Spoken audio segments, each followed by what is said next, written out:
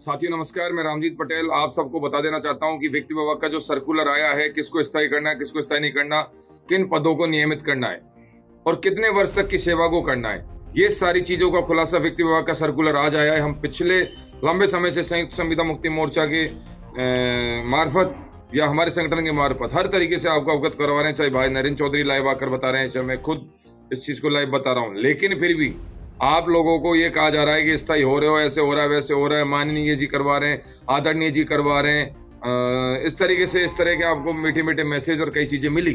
तो मैं कह देना चाहता हूँ राजस्थान सरकार को, खुले शब्दों में उन्होंने घोषणा पत्र में वादा किया था कि हम लोग एक लाख दस हज़ार नहीं, तमाम संविधा कर्मी स्थायी करेंगे, लेकिन फिर भी बात एक दस पर आके रुकी।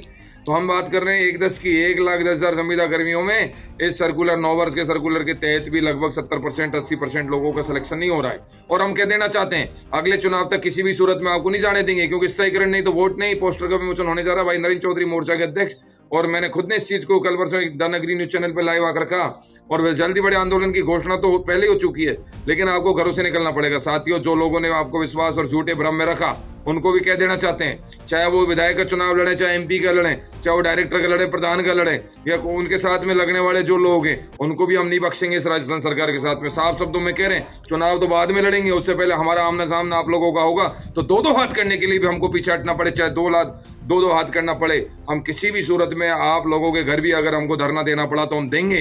राजस्थान सरकार के नुमाइंदों के घर धरना देंगे और उन लोगों के घर पर भी धरना देंगे जिन लोगों ने ज़िम्मेदारी ली थी। क्योंकि मुझे आज बड़ा दुख है, पंचायत शिक्षक विद्यालय से एक का संयोजक होने के नाते सबसे ज़्यादा मेहनत हमने की।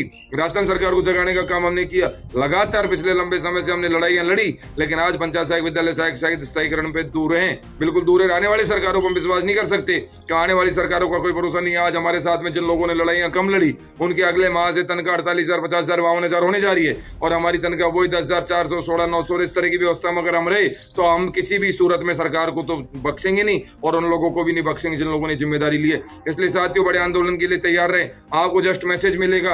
आज पूरी संगठन मोर्चे के लोग और तमाम हमारे संगठन के जिलाध्यक्ष, ब्लॉक अध्यक्ष, साथियों से पूरी चर्चा की जाएगी बीसी के माध्यम से। और जल्द ही बड़े निर्णय के साथ आपको बताया जाएगा, चाहे राजस्थान सचिवालय की पानी की टंकी पर चढ़ना पड़े, चाहे आईसीसी की पानी की टंकी पर चढ़ना पड़े, चाहे पीसीसी के बाहर चढ़ना पड़े, आप लोगों को तैयार रहना पड़ेगा। इकतीस तारीख की बैठक में सरकार के कान खोलने के लिए आप लोग तैयार रहे, चाहे सोशल मीडिया का कैंपेन हो, चाहे किसी भी तरह की बात हो। लेकिन आप लोगों के साथ लड़ना पड़ेगा। मैं स्पष्ट तौर पर कह रहा हूँ, जिन लोगों ने ज़िम्मेदारी ली है, उन लोगों को भी नहीं बख्शेंगे। राजस्थान सरकार को भी नहीं बख्शेंगे। रामजीत पटेल प्रवक्ता संयुक्त समिति मुक्ति मोर्चा राजस्थान प्रदेश संयोजक राजस्थान पंचायत शिक्षक विद्यालय शिक्षा